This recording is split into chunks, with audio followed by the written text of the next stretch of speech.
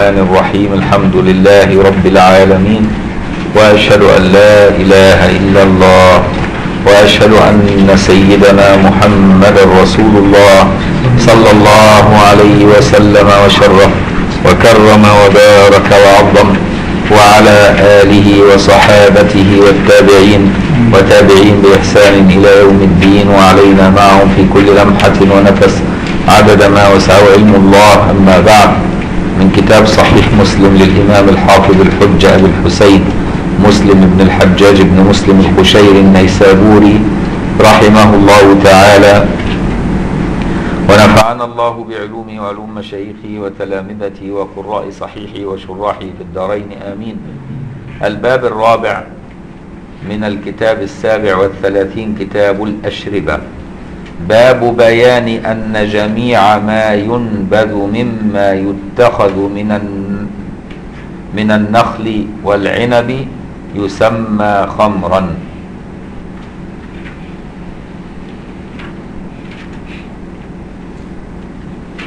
بإسنادنا المتصل عن مشايخنا جزاهم الله عنا خير الإمام مسلم في صحيح الحديث السابع والخمسين بعد المائتين والخمسة آلاف.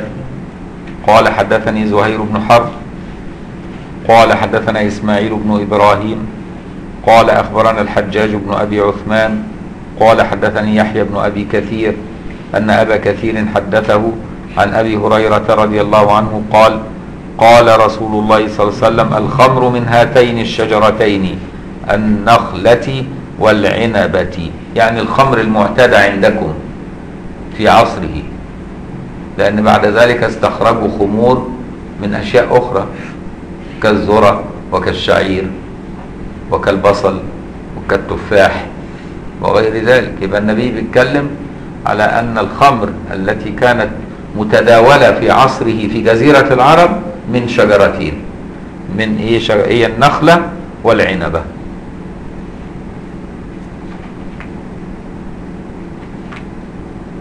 وعن أبي قال وحدثنا محمد بن عبد الله بن نمير قال حدثنا أبي قال حدثنا الأوزاعي قال حدثنا أبو كثير قال سمعت أبا هريرة رضي الله عنه يقول سمعت رسول الله صلى الله عليه وسلم يقول الخمر من هاتين الشجرتين النخلة والعنبة. وعنه به قال وحدثنا زهير بن حرب وأبو كريب قالا حدثنا وكيع عن الأوزاعي وعكرمة بن عمار وعقبة بن التوأم عن أبي كثير عن أبي هريرة رضي الله عنه قال قال رسول الله صلى الله عليه وسلم الخمر من هاتين الشجرتين الكرمة اللي هي العنب كانوا يسموها كرمة ليه؟ لأن اللي بيشرب الخمرة بيفقد الحرص على الدنيا فيبقى كريم فيبقى يسموه كرمة عشان كده لأن بيتحولوا إلى كريم. لأن لما بيفقد عقله ما يعرفش قيمة الحاجة اللي معاه فيديها للناس فيبقى كريم. فسموها كرمة عشان كده. وإن كان النبي صلى الله عليه وسلم نهى بعد ذلك عن تسميتها بالكرم وقال الكرمة هو المؤمن. المؤمن هو اللي كريم. إنما إيه؟ العنب اللي دي اسمها الخمر. فنهى إننا نسمي العنب الكرم. هاتين الشجرتين الكرمة والنخلة. وفي رواية أبي كريب الكرم والنخل. باب كراهة انتباذ التمر والزبيب مخلوطين. اللي إحنا بنسميه إيه؟ خشاف كده. عند الإمام مالك مكروه. مطلقا. حتى الوقت برضه مكروه عند الإمام مالك. ليه؟ لأنه بيقول لك بيسرع في الإسكار خصوصا في البيئة الحارة. لكن إحنا طالما بنخلطه وبنشربه على طول أو بنحطه في الثلاجه نمنع الايه الإسكار يبقى لا بأس. فعند الشافعية لا بأس عموما. الخليط ما لم يكن إيه مسكر. والنبي نهى عن الخلط في عصره لأنه كان في بيئة حارة وكان خلطها يسارع في الإسكار فيضيع ماليتها فيضطر الناس أنهم يرموها. فنهى عن خلطها من أجل الحفاظ على ماليتها. صلى الله عليه وسلم. باب كراهة انتباه التمر والزبيب مخلوطين. وعن أبي قال حدثنا شيبان بن فروخ قال حدثنا جرير بن حازم.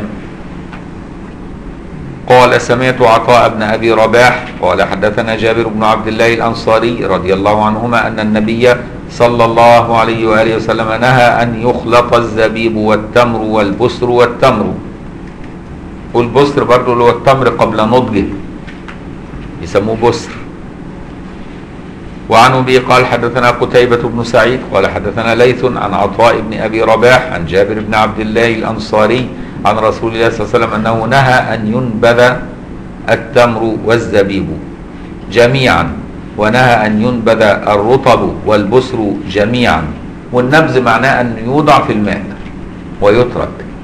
أدي معنى النبذ يعني يوضع في الماء ويترك حتى يتسكر الماء ثم يشرب معه. ويؤكل.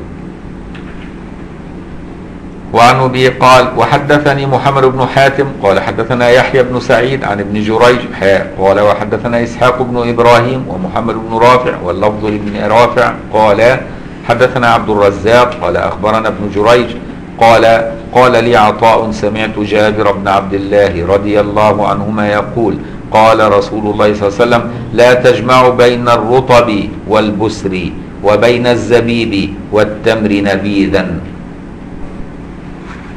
وعن أبي قال يبقى هذا النهي نهي إرشاد.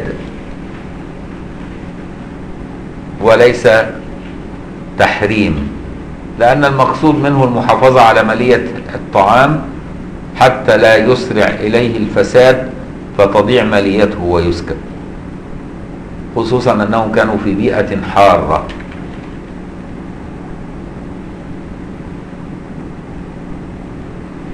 وعن ابي قال وحدثنا قتيبة بن سعيد قال حدثنا ليث حاء قال وحدثنا محمد بن رمح قال أخبرنا الليث عن أبي الزبير المكي مولى حكيم بن حزام عن جابر بن عبد الله الأنصاري رضي الله عنهما عن رسول الله صلى الله عليه وسلم أنه نهى أن ينبذ الزبيب والتمر جميعا ونهى أن ينبذ البسر والرطب جميعا. وعن ابي قال حدثنا يحيى بن يحيى قال أخبرنا يزيد بن زريع عن التيمي عن أبي نضرة عن أبي سعيد. يعني أنت برضه لو الكهرباء بتقطع الوقت زي ما بتقطع الوقت وإحنا دلوقتي في وقت حرب فما فيش داعي تحط الخليط مع بعضه والكهرباء تقطع تقوم إيه؟ يسارع بالاسكار فهمت؟ بعد يومين تلاقيه تشمه كده تلاقيه طعمه بقى خلاص تغير. تقوم تضطر ترميه وأنت جايبه بفلوس تضيع ماليتك. مش كل واحد يتحمل تضييع عمليته. في ناس يدوب أمواله على قده. فهمت إزاي؟ يبقى حتى النهي ده يفيدك حتى في العصر بتاعنا ده عشان بيقطعوا الكهرباء كتير. فهمت بقى؟ لأن أنت ممكن تقول ما أنا هخلطهم وأحطهم في الثلاجه ما يجراش حاجة. طب ما هو الثلاجه بتقطع الكهرباء. وإحنا دلوقتي في عز الحرب في بيئة حارة. فهمت إزاي؟ يبقى لازم ناخد بالنا إن النهي ده برضه مش معناه إنه كان خاص في عصر النبي بس. يعني في كل عصر حتى في عصر مرسي والسيسي. في مصر. ليه؟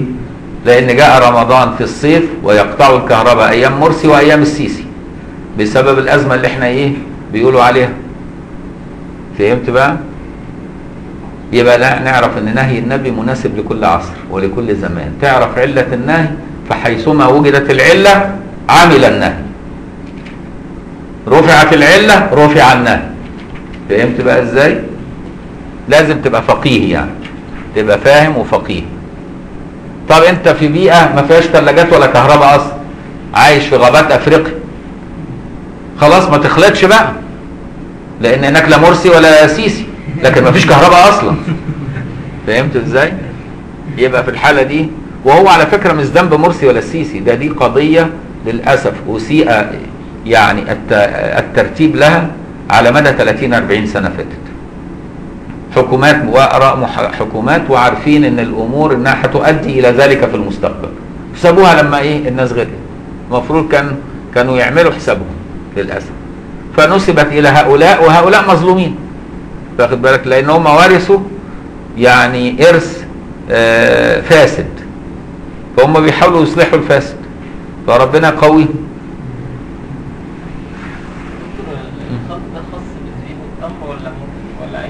ما هو كلما زاد الخليط كلما زادت إيه مسارعة الايه التغيرات بسرعة خصوصا لو كانت في بيئة حارة. كويس؟ والنبي لما اختار الحاجات دي اختار اللي موجود في عصره يبقى أنت مثلا عندك مثلا مشمشية وعندك قراصيه وعندك حاجات جديدة بقى. ما هو نفس القصة. فما تقعدش تخلطها مع بعضها. يعني هي القصة واحدة بس النبي ليه خص هؤلاء؟ لأن دي اللي كان موجود في في في زمن. لو قال لهم ما تخلطوش المشمشية والقراصية هيقولوا إيه؟ ما, ما يعرفوهاش. والنبي كان يخاطب الناس بما يفهموا. فهمت بقى إزاي؟ فلازم الواحد يعرف الحكاية دي. دلوقتي بقى يحطوا تين ويحطوا مشمشية ويحطوا قراصية ويحطوا كمان زبيب ويحطوا عين جمل ويحطوا بندق ويحطوا لوز. أنواع كتيرة بقى. دخل ليه؟ لأن الناس إيه فتحت البلاد وبقى خيرات كل البلاد تتجمع في حتة واحدة. فهمت بقى المسألة؟ فيبقى نفهم على طول علة إيه؟ علة النهي. علة النهي أنه كلما زادت الخلطة في بيئة حارة اسرع إيه؟ التخمير فيها. يبقى دي العلة. فهمت بقى إزاي؟ يبقى إيه؟ ما ما ندورش بقى على على التسميات. المهم المعنى. المعنى إنك أنت يريدك النبي صلى الله عليه وسلم ألا تضيع مالك وألا تشرب مسكر. هو ده المعنى اللي النبي عايزه منك. اوعى تشرب مسكر واوعى تضيع مالك تقوم تعمل حاجة تفسد بسرعة ويضيع مالك. فهمت بقى؟ يبقى أمر الدين داخل في الموضوع. فهمت إزاي؟ برضه تحط قمر الدين بدل المية وفي تمر وفي زبيب الله ده خلطه بقى وبعدين يجي الكهرباء تقطع كمان. واخد بالك إزاي؟ تيجي هتفطر تشمها تلاقي طعمها اتغير تروح رميها وتتخانق مع مراتك. ليه؟ لأنها ضيعت ماليتها وفلوسك خلصت. وهتجيب منين؟ تقوم تضطر تنزل أنت وهي تفطروا في مائدة الرحمن. واخد بالك؟ تبقى مشكلة.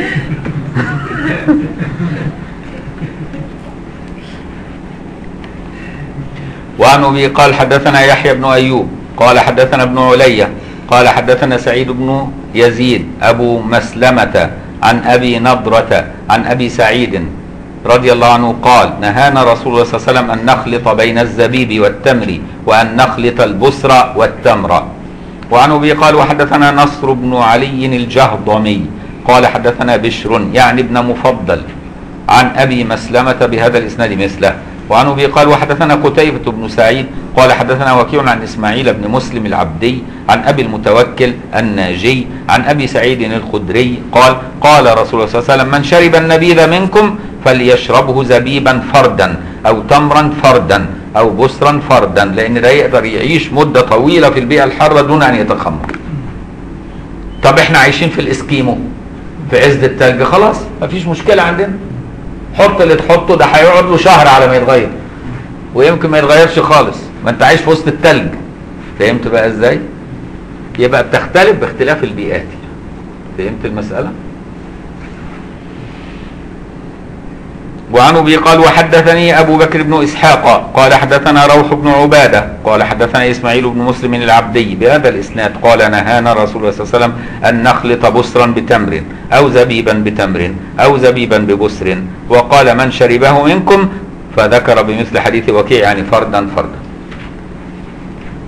وعن أبي قال حدثنا يحيى بن أيوب قال حدثنا ابن علية قال أخبرنا هشام الدستوائي عن يحيى بن أبي كثير عن عبد الله بن أبي قتادة عن أبيه قال قال رسول الله صلى الله عليه وسلم لا تنتبذوا الزهو والرطب. الزهو اللي هو الإيه؟ برضو البصر يعني هو التمر أول ما ياخد لون قبل ما يحلو. يبقى لسه ماسخ. ماسخ يعني يعني ما فيهوش حلاوة يعني. يسموه بصر كويس؟ يسموه الزهو. لا تنتبذوا الزهو والرطب جميعا ولا تنتبذوا الزبيب والتمر جميعا وانتبذوا كل واحد منهما على حدته. يبقى النبي قال البصر أو الزهو والصحابة بيروا بالمعنى.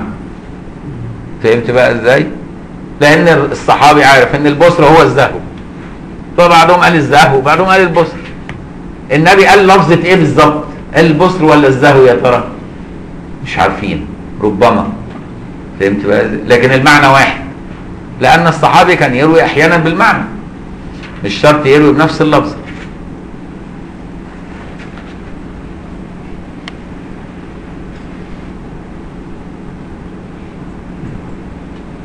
يا رب. وعن أبي قال وحدثنا أبو بكر بن أبي شيبة قال حدثنا محمد بن بشر العبدي عن حجاج بن أبي عثمان عن يحيى بن أبي كثير بهذا الإسناد مثله. وبمناسبة قطع الكهرباء ننصح أي واحد فيكم لا يأكل لحوم في الخارج. ليه؟ لأن الوقت بتقطع الكهرباء على المطاعم واللحوم موجودة في ثلاجات المطاعم فبتفسد. وأنا جالي كذا حالة تسمم غذائي الفترة اللي فاتت دي بسبب أكل لحوم في خارج المنزل. بسبب إن اللحوم فسدت عند المطاعم. وبعدين التوابل بتضيع طعم الفساد.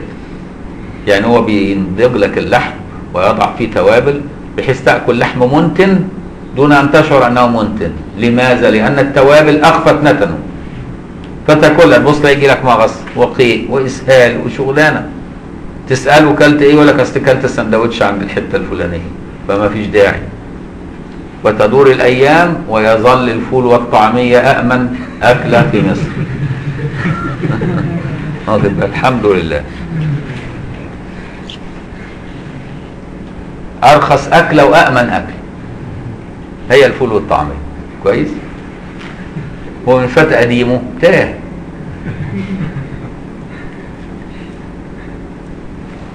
يا رب يا كريم. وعن ابي قال وحدثني أبو الطاهر أحمد بن عمرو بن سرح. قال أخبرنا عبد الله بن وهب. قال أخبرني عمرو بن الحارث أن قتادة ابن دعامة حدثه أنه سمع أنس بن مالك رضي الله عنه يقول إن رسول الله صلى الله عليه وسلم نهى. لا ده أنا دخلت في في حديث تاني. قرأت في صفحة تانية معلش. نرجع إحنا في الحتة اللي كنا فيه إحنا في حديث إيه؟ محمد بن المثنى. أيوه تمام. أنا دخلت أصل الصفحة اللي قبلها. وعن أبي قال حدثنا محمد بن المثنى قال حدثنا عثمان بن عمر قال أخبرنا علي وهو ابن المبارك عن يحيى عن أبي سلمة عن أبي قتادة أن رسول الله صلى الله عليه وسلم قال لا تنتبذوا الزهو والرطب جميعا ولا تنتبذوا الرطب والزبيب جميعا. يعني مخلوطين يعني. ولكن انتبذوا كل واحد على حدته يعني فردا فردا. وزعم يحيى أنه لقي عبد الله بن أبي قتادة فحدثه عن أبيه عن النبي صلى الله عليه وسلم بمثل هذا. وعن أبي قال وحدثنيه أبو بكر بن إسحاق قال حدثنا روح بن عبادة قال حدثنا حسين المعلم قال حدثنا يحيى بن أبي كثير بهذين الإسنادين غير أنه قال الرطب والزهو والتمر والزبيب. وبلاحظ إن في الروايات دي الزهو اتحط مكان البصر. يبقى الزهو هو البصر. فهمت بقى؟ وعن أبي قال وحدثني اللي هو البصر ده بيتعمل منه شراب يسموه كان إيه؟ الفضيخ. قريناها امبارح. كان يعملوا منه خمر يسموه الفضيخ. كده برضو كنا قرأناها بالأمس. وعن ابي قال وحدثني أبو بكر بن إسحاق قال حدثنا عفان بن مسلم قال حدثنا أبان العطار أبان العطار. قال حدثنا يحيى بن أبي كثير قال حدثني عبد الله بن أبي قتادة عن أبي أن نبي الله صلى الله عليه وسلم نهى عن خليط التمر والبسر وعن خليط الزبيب والتمر وعن خليط الزهو والرطب. وقال انتبذوا كل واحد على حدته. هو في فرق دقيق بين الزهو والبسر على فكرة. يعني الفرق الدقيق إيه؟ إن الزهو هو التمر لما يبقى أخضر. ده البصر. البصر تمر وهو أخضر. البلح أول ما يبتدي يظهر ويبقى مخضر يسموه بصر. أول ما يظهر فيه صفار أو حمار يسموه زهو. فهمت إزاي؟ يبقى هي مرحلة يعني للنضج مراحل في النضج. ده الفرق الدقيق. لكن إيه الصحابة بيعتبروا البصر والزهو حاجة واحدة لأنه لسه هو بلح غير ناضج. بلح إيه؟ غير ناضج يعني ماسخ. محدش يرضى ياكله لأنه ليس له طعم إيه؟ يعني حلو في في المذاق. وعن أبي قال وحدثني أبو سلمة بن عبد الرحمن عن أبي قتادة عن النبي صلى الله عليه وسلم بمثل هذا الحديث. وعن أبي قال حدثنا زهير بن حرب وأبو كريب واللفظ لزهير. قال حدثنا وكيع عن عكرمة بن عمار عن أبي كثير الحنفي عن أبي هريرة رضي الله عنه قال نهى رسول الله صلى الله عليه وسلم عن الزبيب والتمر والبسر والتمر وقال ينبذ كل واحد منهما على حدته. وعن أبي قال وحدثني زهير بن حرب قال حدثنا هاشم بن القاسم قال حدثنا عكرمة بن عمار قال حدثنا يزيد بن عبد الرحمن بن أذينة وهو أبو كثير الغبري. قال حدثني أبو هريرة رضي الله عنه قال قال رسول الله صلى الله عليه وسلم بمثله. وعن أبي قال وحدثنا أبو بكر بن أبي شيبة قال حدثنا علي بن مسهر عن الشيباني عن حبيب عن سعيد بن جبير عن ابن عباس رضي الله عنهما قال نهى النبي صلى الله عليه وسلم أن يخلط التمر والزبيب جميعا وأن يخلط البسر والتمر جميعا. وكتب إلى أهل جرش ينهاهم عن خليط التمر والزبيب. وعن أبي قال وحدثنيه وهب بن بقية. قال أخبرنا خالد يعني الطحان عن الشيباني بهذا الإسناد في التمر والزبيب ولم يذكر البسر والتمر. وعن أبي قال حدثني محمد بن رافع. قال حدثنا عبد الرزاق. قال أخبرنا ابن جريج. قال أخبرني موسى بن عقبة عن نافع عن ابن عمر. رضي الله عنهما أنه كان يقول قد نهي أن ينبذ البسر والرطب جميعا والتمر والزبيب جميعا. وعن أبي قال وحدثني أبو بكر بن إسحاق قال حدثنا روح قال حدثنا ابن جريج قال أخبرني موسى بن عقبة عن نافع عن ابن عمر رضي الله عنهما أنه قال قد نهي أن ينبذ البسر والرطب جميعا والتمر والزبيب جميعا. باب النهي عن الانتباذ في المزفة والدباء والحنتم والنقير. وبيان أنه منسوخ وأنه اليوم حلال ما لم يصر مسكرا. النبي في أول الأمر عندما حرمت الخمر نهى أن ينبذ في أوعية معينة كانت تستعمل في بيئته في جزيرة العرب في هذا الزمان كان الانتباذ فيها يسعر يسرع بالإسكار. زي إيه؟ زي آنية تستعمل من القرع تسمى إيه؟ الدباء. عارف القرع؟ القرع يمسكه كده القرع يروح قاسمها نصين وبعدين يجففها وبعدين يستعملها إناء يشرب فيه. فهمت فده يسمى إيه؟ الدباء فلما كانوا ينبذوا في هذا الدباء كان يسارع الخليط مع الحرارة تتحول لخمر. فالنبي نهى عن الانتباس في الدباء وفي آنية تانية تسمى الحنتم أيام النبي. كانت تبقى مدهونة. بخضار. مدهونة بخضار عشان يسدوا مسامها فلا تخترقها الماء. فسد المسام ده مع وجود حرارة عالية مع وجود انتباس في داخلها يؤدي إلى سرعة الإسكار. فنهى النبي عن الانتباس في آنية إيه؟ الحنتم. وكان هناك آنية أخرى أيام النبي تسمى المزفت أو المقير. كانوا يسدوا مسامها بالزفت والقار. فسد المسام ده يؤدي أيضا إلى سرعة الإسكار. فنهى عن استعمال الانتباس في المزفة والمقير. صلى الله عليه وآله وسلم. هذا مؤقتا. حتى استقر تحريم الخمر وصار الناس يأنفوا أن يشربوا مسكر نسخ الحكم النبي صلى الله عليه وسلم وقال انتبذوا في كل وعاء ولا تشربوا مسكرا. واضح؟ يبقى مرت الأمور بمرحلتين. الأول نهاهم على الانتباذ في هذه الأوعية لأنهم كانوا حديث عهد بتحريم خمر.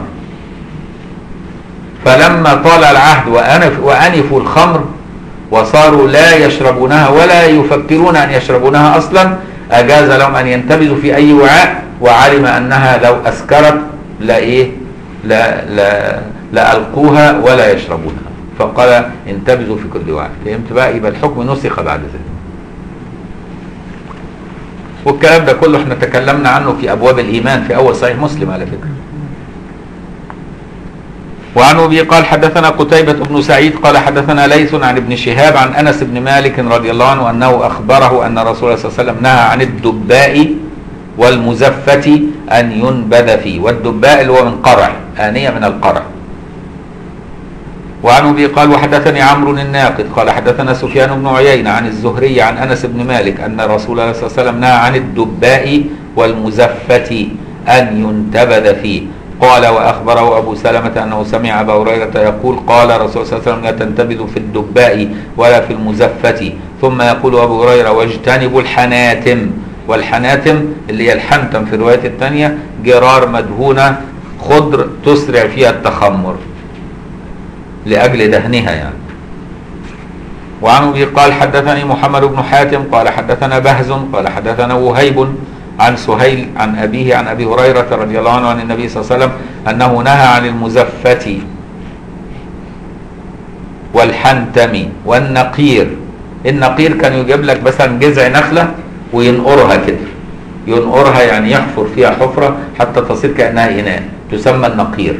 برضه لما كانوا ينتبذوا فيها يسرع فيها التخمر. فهمت؟ قال قيل لأبي هريرة ما الحنتم؟ قال الجرار الخضر. وعن أبي قال حدثنا نصر بن علي الجهضمي. قال نو- نوح بن قيس. قال حدثنا ابن عون عن محمد عن أبي هريرة محمد بن سيرين. عن أبي هريرة رضي الله عنه أن النبي صلى الله عليه وسلم قال لوفد عبد القيس أنهاكم عن الدباء. وفد عبد القيس ده كان جاي من البحرين. من البحرين. شوف شوف البحرين فين؟ والنبي لم يذهب إليها أصلا. فلما جم النبي نهاهم عن آنية هم بيستعملوها ما بيستعملوهاش أهل المدينة.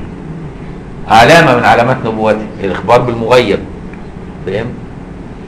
قال لوفد عبد القيس أنهاكم عن الدباء والحنتم والنقير والمقير. والحنتم المزادة المجبوبه يعني مقطوعة الرأس. المزادة اللي هي إيه؟ اللي هي القربة مقطوعة الرأس. لأن القربة مقطوعة الرأس لما تحط فيها انتباز في بيئة حارة يسرع فيها التخمر دون أن تشعر. لكن لو مش مقطوعة الرأس ومربوطة لو تخمرت تنتفخ تقوم تنتبه. فاهم؟ لكن لو تبقى مقطوعة الرأس ما يحصلش فيها انتفاخ. فتقوم ما تعرفش إنها إيه؟ خصوصا إنها كمان بتبقى غير شفافة. فأنت تروح شارب من فمها على طول تسكر وأنت مش واخد بالك. فنهى النبي صلى الله عليه وسلم عن إيه؟ عن المزادة المجبوبة يعني مقطوعة الرأس التي بغير عزلاء ولكن اشرب في سقائك وأوكه لأنك لما توكيه يعني تربطه. لو صارع فيه الإسكار ينتفخ. يبقى تن- تنتبه. فهمت بقى؟ لكن لو سبت الوكاء الوكاء وهو الرباط؟ لو سبته مفتوح ممكن يحصل فيه تخمر ولا ينتفخ لأنه مفتوح. فاهم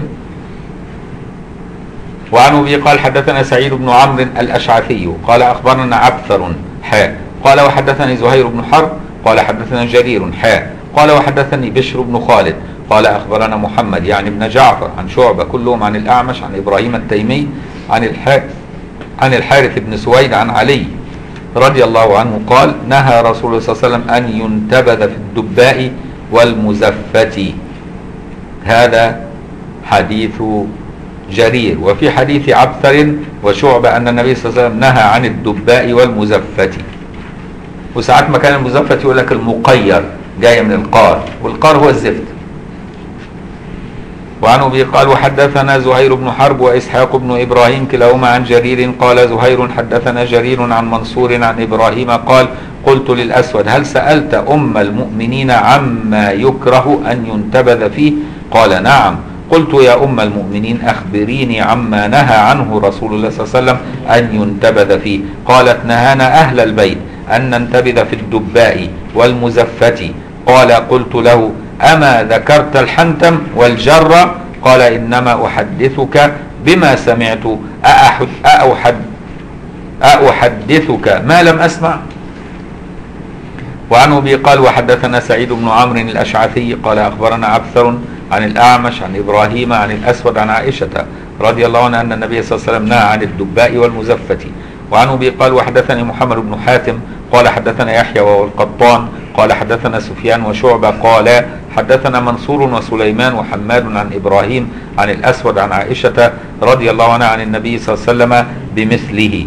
وعن أبي قال حدثنا شيبان بن فروخ قال حدثنا القاسم يعني ابن الفضل. قال حدثنا ثمامة ابن حزن القشيري.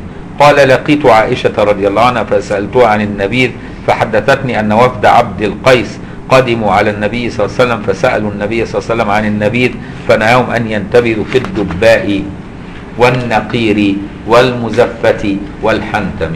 وعن ابي قال وحدثنا يعقوب بن إبراهيم قال حدثنا ابن علي قال حدثنا إسحاق بن سويد عن معاذة عن عائشة رضي الله عنها قالت نهى رسول الله صلى الله عليه وسلم عن الدباء والحنتم والنقير والمزفة. وعن ابي قال وحدثناه إسحاق بن إبراهيم قال أخبرنا عبد الوهاب الثقفي قال حدثنا إسحاق بن سويد بهذا الإسناد إلا أنه جعل مكان المزفة المقير. وعن أبي قال حدثنا يحيى بن يحيى قال أخبرنا عباد بن عباد عن أبي حمزه عن أبي جمرة عن ابن عباس حاء وحد قال وحدثنا خلف بن هشام قال حدثنا حماد بن زيد عن أبي جمرة قال سمعت ابن عباس رضي الله عنهما يقول قدم وفد عبد القيس على رسول الله صلى الله عليه وسلم فقال النبي صلى الله عليه وسلم أنهاكم عن الدباء والحنتم والنقير والمقير وفي حديث حماد جعل مكان المقير المزفت. وعن أبي قال حدثنا أبو بكر بن أبي شيبة قال حدثنا علي بن مسهر عن الشيباني عن حبيب عن سعيد بن جبير عن ابن عباس رضي الله عنهما قال نهى رسول الله صلى الله عليه وسلم عن الدباء والحنتم والمزفة والنقير. وعن أبي قال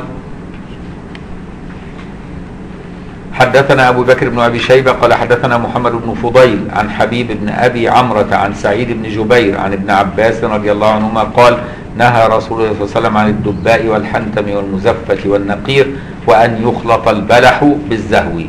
وعن أبي قال حدثنا محمد بن المثنى قال حدثنا عبد الرحمن بن مهدي عن شعبة عن يحيى البهراني قال سمعت ابن عباس. حاء قال وحدثنا محمد بن بشار. قال حدثنا محمد بن جعفر.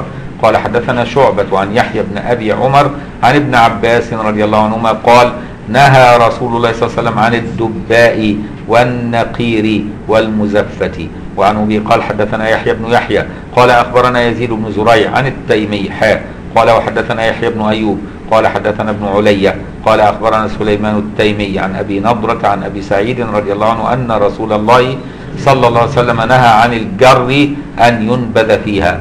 والجر اللي هي الحناتم اللي هي الحنتم وعن أبي قال حدثنا يحيى بن أيوب قال حدثنا ابن علي قال أخبرنا سعيد بن أبي عروبة عن قتادة عن أبي نضرة عن أبي سعيد الخدري رضي الله عنه أن رسول الله صلى الله عليه وسلم نهى عن الدباء والحنتم والنقير والمزفة. وعن أبي قال وحدثنا محمد بن المثنى قال حدثنا معاذ بن هشام قال حدثني أبي عن قتادة بهذا الإسناد أن نبي الله صلى الله عليه وسلم نهى أن ينتبذ فذكر مثله.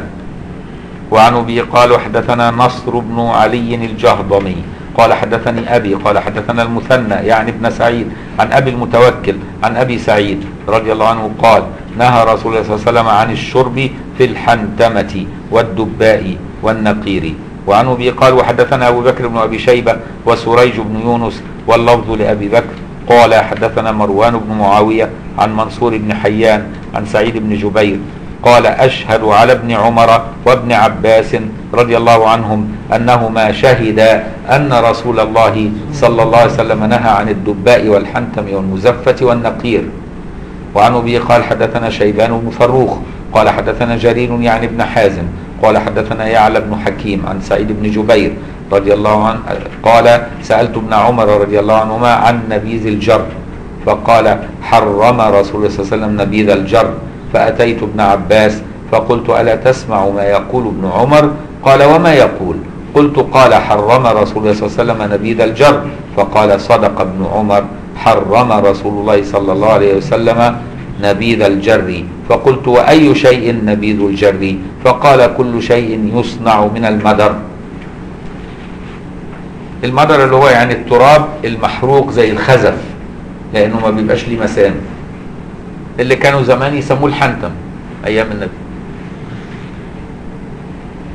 وعن أبي قال حدثنا يحيى بن يحيى قال قرأت على مالك عن نافع عن ابن عمر رضي الله عنهما أن رسول الله صلى الله عليه وسلم خطب الناس في بعض مغازيه قال ابن عمر فأقبلت نحوه فانصرف قبل أن ابلغ أبلغه فسألت ماذا قال؟ قالوا نهى أن ينتبذ في الدباء والمزفت.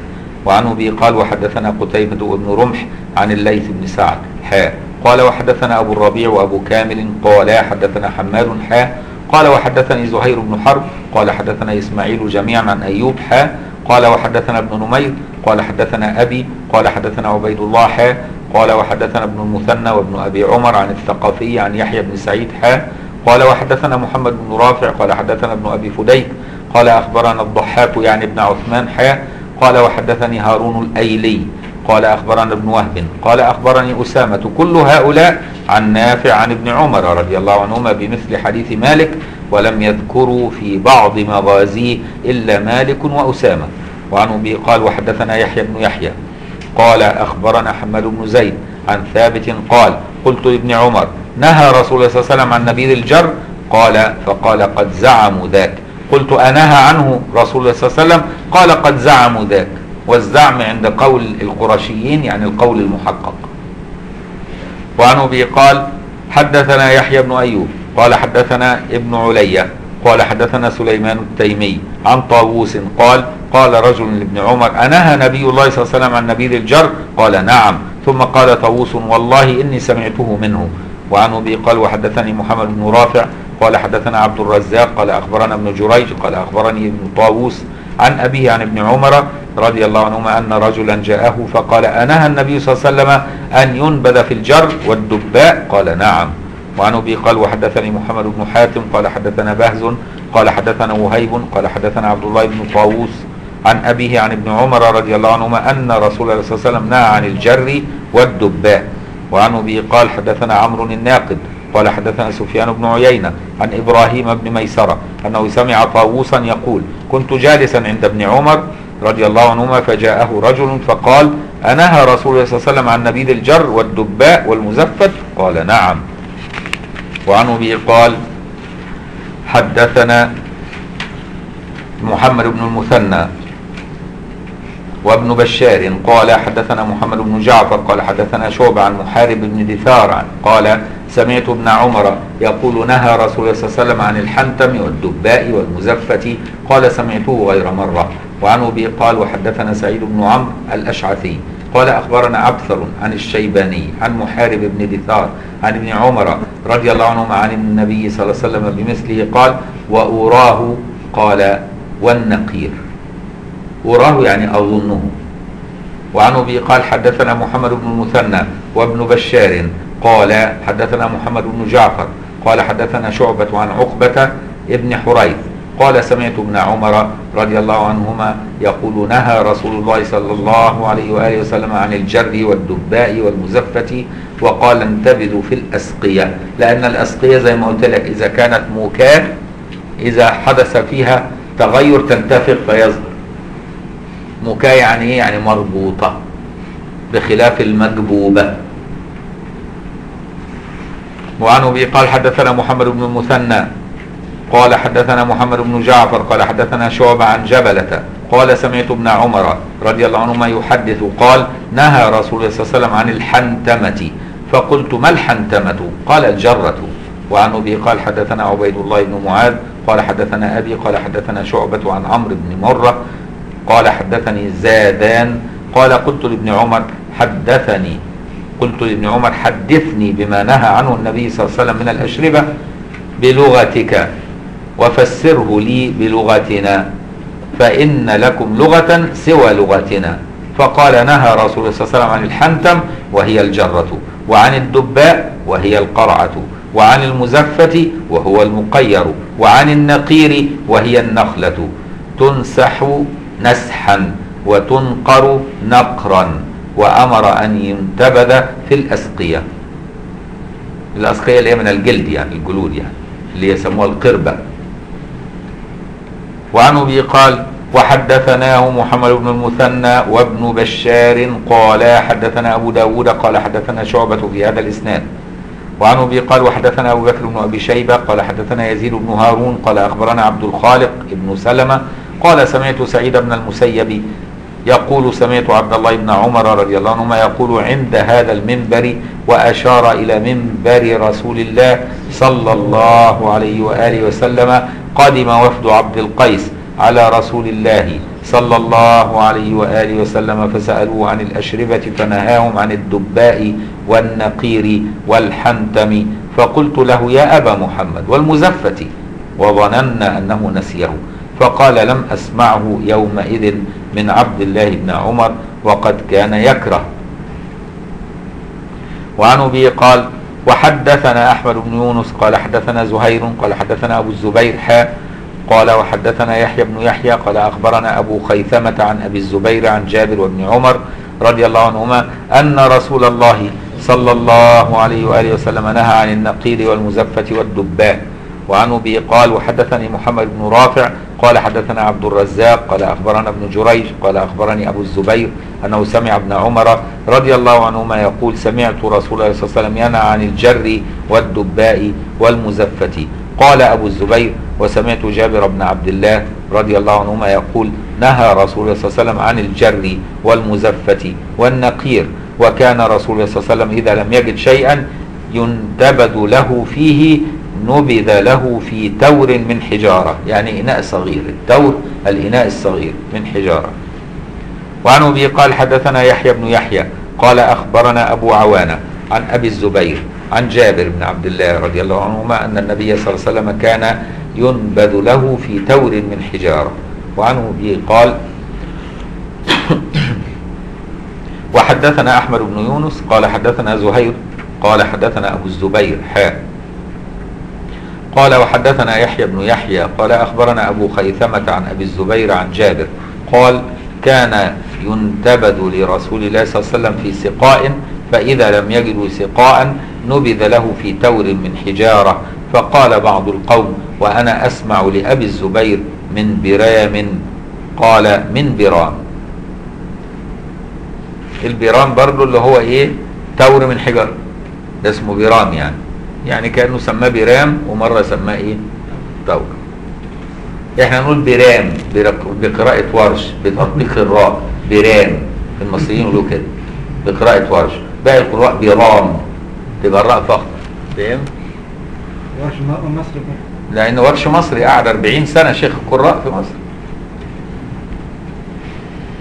وعن أبي قال حدثنا أبو بكر بن أبي شيبة ومحمد بن المثنى قال حدثنا محمد بن فضيل قال أبو بكر عن أبي سنان وقال ابن المثنى عن ضرار بن مرة عن محارب عن ابن بريدة عن أبي حاه قال وحدثنا محمد بن عبد الله بن نمير قال حدثنا محمد بن فضيل قال حدثنا ضرار بن مرة أبو سنان عن محارب بن دسار عن عبد الله بن بريدة عن أبيه.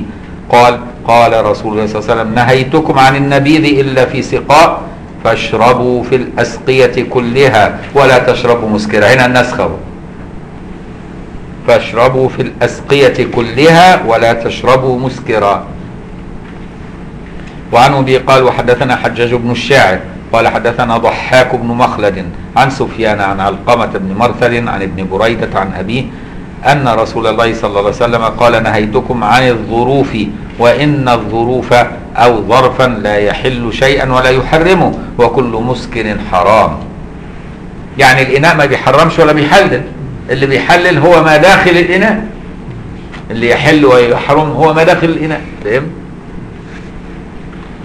وعن أبي قال وحدثنا أبو بكر بن أبي شيبة قال حدثنا وكيع عن معرف ابن واصل عن محارب بن دثار عن ابن بريدة عن أبيه قال قال رسول الله صلى الله عليه وسلم كنت نهيتكم عن الأشربة في ظروف الأدم والأدم جمع أديم وهو الجلد المدبوغ.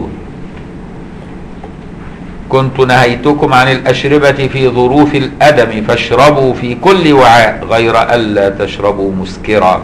وعن أبي قال وحدثنا أبو بكر بن أبي شيبة وابن أبي عمر واللفظ لابن عمر قالا حدثنا سفيان عن سليمان الأحول عن مجاهد عن أبي عياض عن عبد الله بن عمرو رضي الله عنهما قال لما نهى رسول الله صلى الله عليه وسلم عن النبيذ في الأوعية قالوا ليس كل الناس يجد فأرخص لهم في الجر غير المزفة. ونقف عند هذا الحد نكمل غدا إن شاء الله. اللهم علمنا ما ينفعنا وانفعنا بما علمتنا وزدنا علما. إن الله وملائكته يصلون على النبي. يا أيها الذين آمنوا صلوا عليه وسلموا تسليما. اللهم صل على سيدنا محمد عبدك ورسولك النبي الأمي وعلى آله وسلم. اللهم صل على سيدنا محمد عبدك ورسولك النبي الأمي وعلى آله وسلم. اللهم صل على سيدنا محمد عبدك ورسولك النبي الأمي وعلى آله وسلم. عدد خلقك ورضا نفسك وزنة عرشك ومداد كلماتك. وكما تحب وترضى سبحان ربك رب العزة عما يصفون. وسلام على المرسلين والحمد لله رب العالمين. وجزاكم الله خيرا.